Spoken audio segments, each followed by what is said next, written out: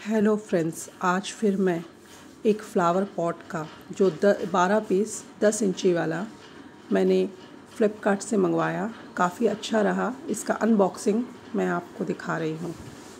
देखिए, इतने कम रेट में आपको बारह पीस और काफ़ी अच्छे क्वालिटी की है और ये मैंने कमल फूल के लिए मंगवाया हुआ है।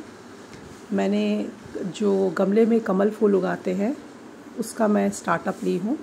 तो इससे पहले भी मैं बहुत सारे गमले मंगाई थी बट उसमें कुछ क्रैक्स भी आए लेकिन ये फ्लिपकार्ट का ये जो गमला आया है, ये काफ़ी अच्छा आया है। पूरे बारह पीस है, कोई कंप्लेन नहीं। हल्की है बट मज़बूत है। आप एक बार ट्राई कर सकते हो। मैंने अनबॉक्सिंग किया है, इसलिए कि आप देख पाओगे। लाइव है ये।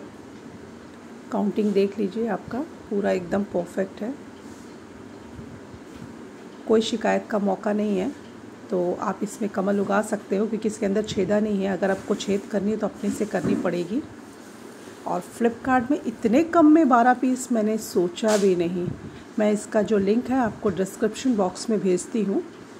आप एक बार ट्राई करो। इसमें आप गार्डन के जो पॉट्स हैं फ्लावर पॉट्स भी डाल सकते हो।